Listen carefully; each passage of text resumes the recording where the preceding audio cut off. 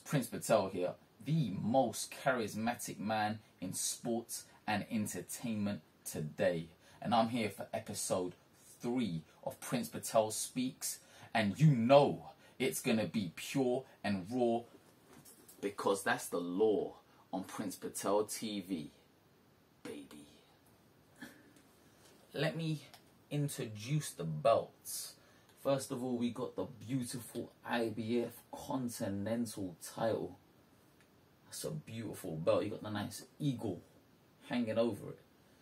And we got the the famous, the world famous African Boxing Union title held by many great fighters. Azuma Nelson being one, Prince Patel being another. The lists go on. Obviously, you have to be of African descent to fight for that. Uh, and then uh, let me introduce this belt the WBO African title. Now, we mentioned about the eagle on the IBF. You got the lion on the WBO. Now that's a beautiful, beautiful lion. One time I actually was wearing this belt with these chains, and the and the gold was in the lion's mouth. It was like the lion was trying to eat my gold. It's like the gold was eating gold. That that is literally a true story. No lies. Gold was eating gold. Imagine if it ate the Cuban, it would just be like a kilo heavier. Like a kilo of girth just straight on the belt. But yeah, they're, they're the belts that I'm going to be wearing today. I said on the last video of Prince Patel Speaks 2, I said I'll be answering some of the questions in the comments. And uh, I and I said I read every comment that's put in there. To be honest, I read everything. When I get DMs, etc., tweets, I read most of the stuff, well, most, the majority of the stuff. And basically, to touch upon the comments on episode 2, and if you haven't seen episode 2, you best make sure you go back watch episode two, and if not, just read the comments because if I'm honest, there was a beef in episode two's comment section. Someone come on there, and some other people shut him down quickly with some some interesting facts. Um, now to actually talk about the questions asked, someone asked me when am I going to be boxing next. If I'm honest, I'm hoping September's more realistic, but I would like August. We're trying to pattern up something big, like a real big fight, and that should be in the UK. But we're trying to pattern it up at the moment, and whether it gets agreed, uh, then we can get rocking and rolling. Um, another question was how many times am I going to be at in 2021 due to these unprecedented times of Corona? I would like to personally be out four times realistically aiming for two now. Might be three, but probably two, and they're both going to be for gold. So another another question is that someone asked on the channel. Well, it wasn't even a question. It was it was an inquiry. Serious inquiry was made. Someone said I got serious serious inquiry. They wanted to know if I was a serious geezer. Now I don't consider myself to be a serious geezer but I consider myself to be a girthy geezer. Girthy in every aspect of the word. Um, hope that answers the person's question. And I think the final one wasn't really a question, it was more. I didn't really understand it. Someone said GTFOH. I think that's abbreviations for get the F out of here why would I get the F out of here on my own channel? You tuned into my channel and you're telling me to get the F out of here. If I'm brutally honest, what I think has happened there, what the prince thinks has happened there is this gentleman walked in on their partner. Their partner could be male or female, and he wasn't happy with his partner watching the video. It was probably at night when the when the partner was watching it they was probably doing something to themselves and he got a little bit upset that his partner was watching the great one, the perfect one, the sexy one. And he just knew immediately he couldn't compete with greatness. So he decided to put a disrespectful comment. So, like I said before, everyone wanted to ask me a question. Make sure you comment it, and the Prince in episode 4 will answer them. Let's get on to the card. Let's get on to the boxing on the weekend. Um, let's start with Christopher Lovejoy against Manuel Charr. I don't know if it was for the WBA regular heavyweight title because when I watched the fight, I didn't see the referee with the all important badges on the chest area. I didn't see him have the badges there. Yeah, so basically, when we when I want to break that down, um, I don't think it was for the regular WBA heavyweight title. Um, I know that Christopher Lovejoy was managed or promoted by Don King. Everyone knows who Don King is. He's a very famous boxing promoter. Um, Lovejoy actually filed himself as bankrupt, was what I read, and managed to get himself out of a contract with Mr. Donald King. And he went to Germany. He tried doing a Prince Patel. He went to he, he went abroad, no team, no coach, no cut man, on his own.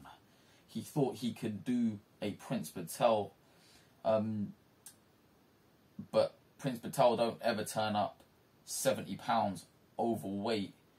Now Prince Prince is a girthy geezer, as as we've said before. I am a girthy geezer, but never would I come in seventy pounds heavier than what I've last fought at. I don't know. I don't really understand the logic in Lovejoy's thingy. He filed himself bankrupt. He to get out of a contract apparently. He then goes into a fight, probably the biggest fight. It was the biggest fight of his life actually because he had 19 wins, 19 KOs. Um, he was supposed to fight Dave Allen, I think, in the UK before. That fight fell through. Um, 19 wins, 19 KOs, but only one of them, I think, had a winning record. So there's a question mark on the record, but there's nothing wrong with that because when it's time to step up, if he ain't ready, that's down to him. But if he believes he's learning on, on his job doing that, that's up to him. But he would have got paid some decent money for that, I'm assuming, as a heavyweight. But I personally believe he took the fight for the money because it didn't look like he was even interested in trying to win when I watched the fight. It was, if I'm honest, it was quite embarrassing. Like I felt sorry for him. I felt bad for him because I know what it's like to go abroad without a team, and the fact that he didn't really attempt to win the fight, it, yeah, it, it, was bad. It was it wasn't it wasn't good in my opinion. Uh, let's talk about the Luis Nery Brandon Figueroa fight, and if I'm honest. When I was campaign, that was at Super Bantam, but when I was campaigning at Bantamweight and Luis Nery was a Bantamweight at the time, I used to look at that and I used to think, it's a hard, hard fight if I had to fight him. Um, obviously, we never engaged into fisticuffs. Um, uh, he moved up a weight, I moved down a weight. And if I'm honest, um, I rate Luis Nery very highly. I think he's got good boxing ability, and I think he's, think he's, I think he can punch as well. He has good volume himself but he fought Brandon Figueroa. Now Brandon Figueroa is a pressure fighter, but he looks like um doesn't really look like someone who can fight facially. Like you wouldn't look at him thinking this geezer's a fighting man, but obviously looks can be deceiving. He um him and him and Luis Nery fought super bantamweight. Now that was, if I'm honest, the whole weekend. I I wanted to watch the Lovejoy against Manuel Charr fight for banter reasons, just for purely for the bants, but for actual boxing and for entertainment. Well, the, the Charr and Lovejoy was for entertainment purposes as well, but for the wrong reasons. Um, but actual boxing and boxing entertainment purposes, the Nery Figueroa fight for me was by far one of the better fights. And in fact, it's one of the fights that I've been looking forward to in recent time. Um, just talk about it, uh, Figueroa's obviously a pressure fighter. Um, both of them met, exchanging some good combinations, both landing big shots, both giving big shots, both showing good good stuff. Really, um, I felt I felt that Nery normally when he hits you, you stay hitting, you go. Against Figueroa, he was catching Figueroa, and he didn't look like he was hurting Figueroa. it just felt like Figueroa was the bigger guy. Even though Nery's failed to make bantamweight a few times, it just felt to me that Figueroa is super bantam. He's now a unified world champion, but I don't think he would be uh, a bantamweight for much longer, and he's now going to add another belt to his um, two belts if he beats Stephen Fulton, which I don't think he does. I think Fulton will be too much for him. Like if you compare Nery and Fulton, I think Fulton's a lot bigger than Nery.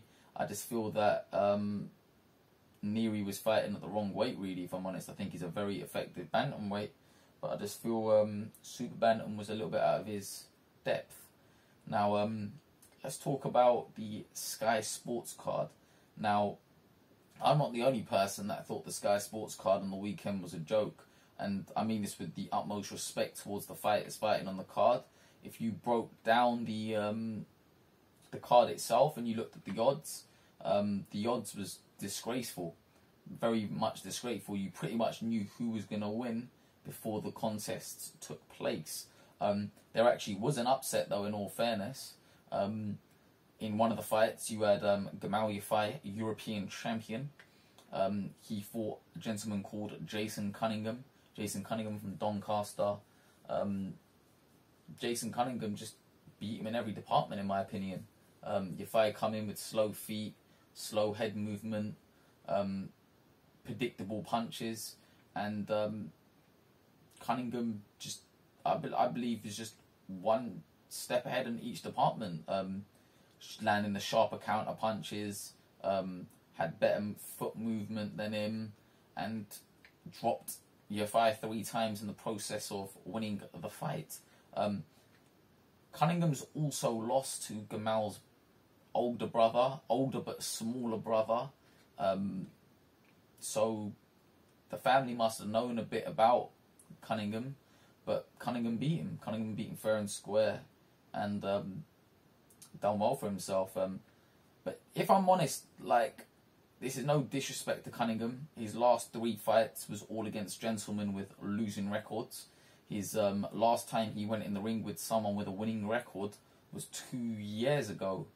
Um, he beat someone who was 11 and 1 at the time. Um, now, that on to the naked eye doesn't look like ideal preparation for a European title fight, but we don't know what he's doing in the gym.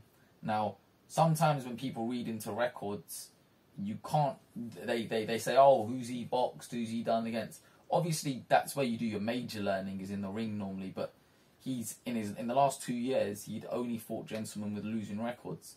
Obviously, in the gym, he must have been doing some other stuff. He must have been sparring other guys. He must have been doing stuff with other other other high caliber fighters because he looked he looked very very good on the weekend against um, Gamal Yafai. Um, another fight that happened on the card was uh, Lerrone Richards against Giovanni Di Corrales or Do Corrales, Corrales or something. Corrales was a former WBA world champion. Um, a very inactive 36 year old in recent times, though, but he was a former world champion. And um, he just looked like it was weird. It was like he couldn't get out of the first gear, and Lerrone was just sort of like touching him up a little bit and moving out the way, and just, just I, I know I'm supposed to give a review to the fight, but it's hard to give a review to fights that I'm not stimulated by, I'm not entertained by. I, I, I didn't, I don't appreciate fights sometimes when it's just boring granted, this, he, he done what he had to do to win, and I respect that. And he's he's pretty much picked up every title on the way to winning the European title. But I just ain't entertained. I just ain't. I just ain't. It, it isn't something. I'm gonna be honest. I didn't even watch the fights live. That's why my reviews sometimes come out really late because I don't even watch them live. Because I, I, I have I watched the Nery fight live, the Brandon Figueroa's Nery fight, but some fights I don't even watch them live because I just ain't stimulated by them. And then you know you're gonna have poor commentary. At least when I'm watching the Nery Figueroa fight, it's, it's American commentary. UK lot they talk stuff up, and half the stuff they're saying don't even make sense. It's just my opinion, though. Just my opinion. And last but not least, on the Sky Sports card, you had um,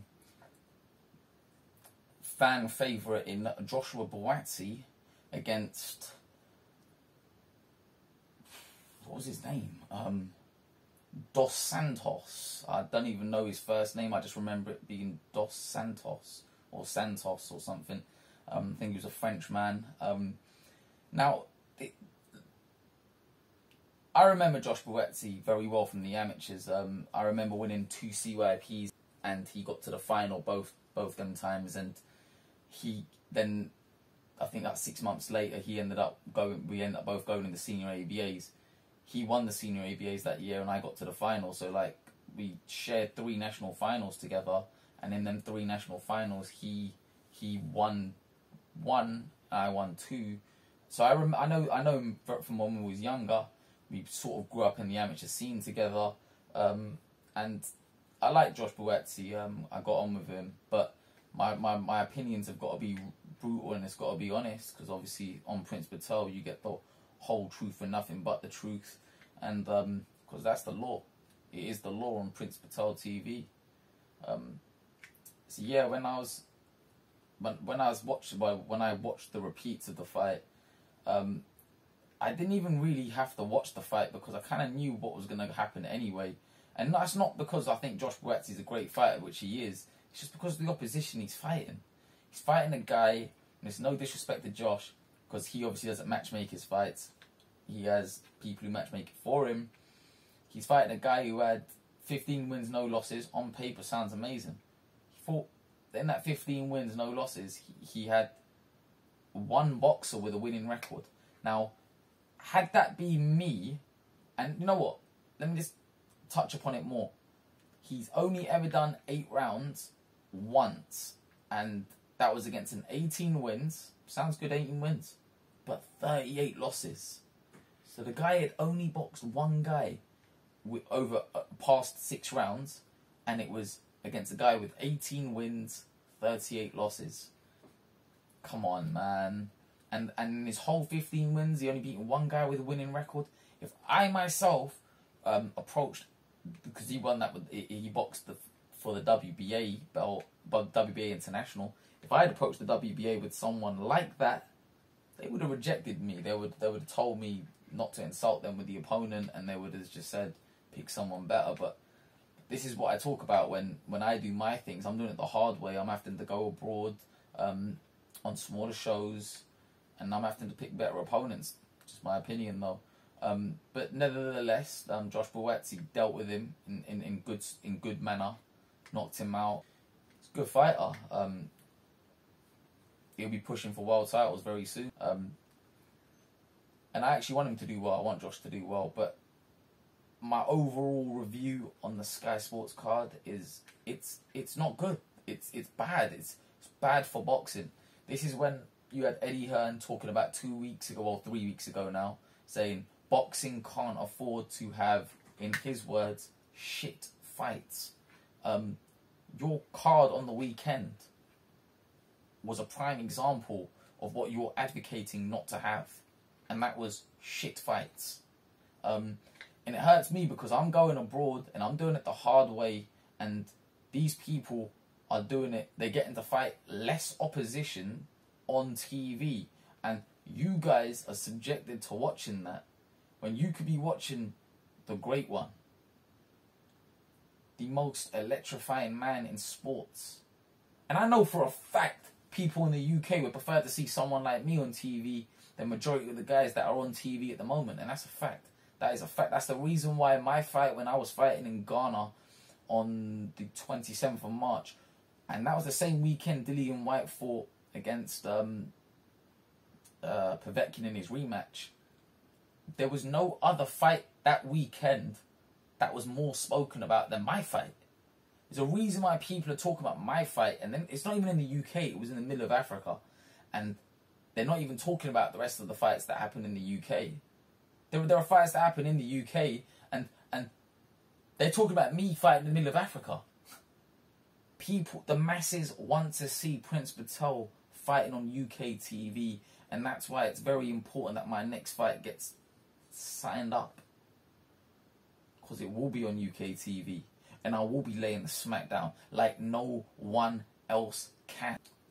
I think that wraps up this video now. Make sure you like, you comment, and you subscribe